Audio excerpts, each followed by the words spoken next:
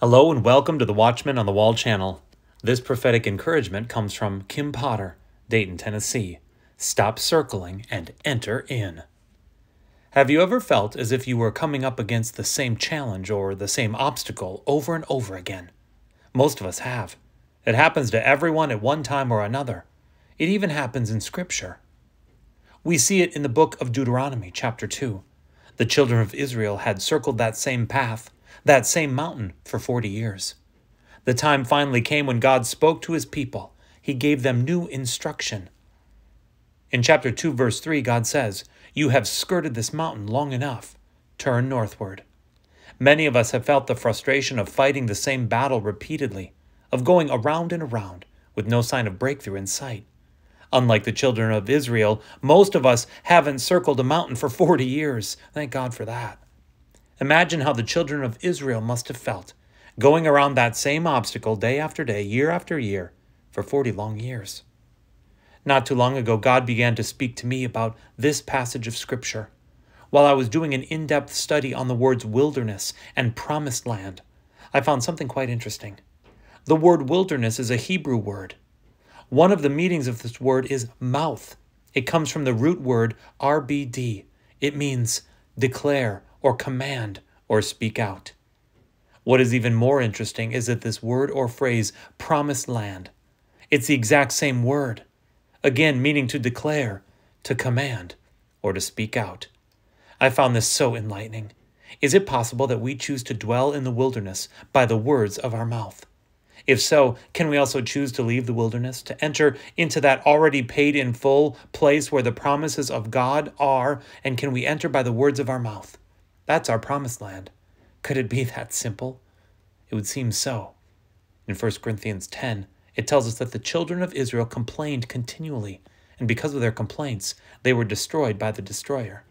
Proverbs 18:21 says, "Life and death are in the power of the tongue."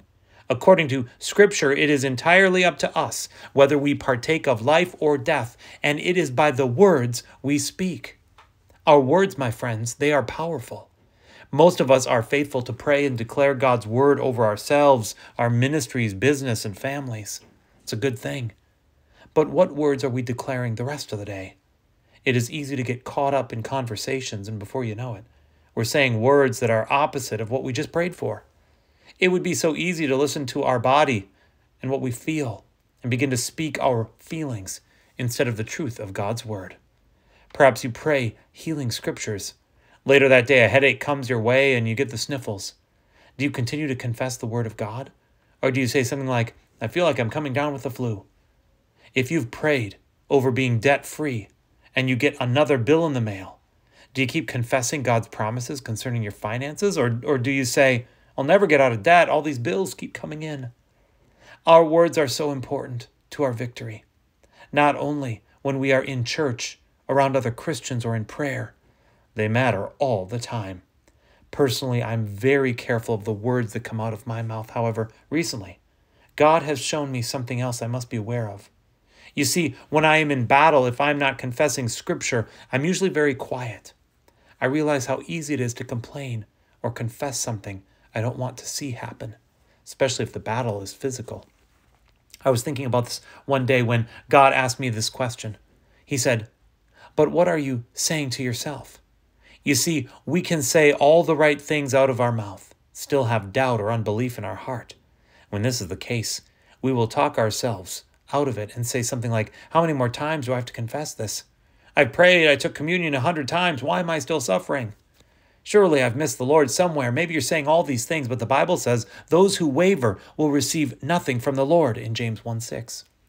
Mark eleven twenty three says, For assuredly I say to you, Whoever says to this mountain, Be removed and cast into the sea, and does not doubt in his heart, but believes those things he says will be done, he will have whatever he says. It's not just enough to confess the word of God. We must also believe what we say to others and to ourselves. What are you saying to yourself? What are you thinking? As a man thinks, so is he. What's in your heart? Out of the abundance of the heart, the mouth shall speak. Yes, we must watch the words we speak. This is vital, of course. But we must also watch what we say to ourselves.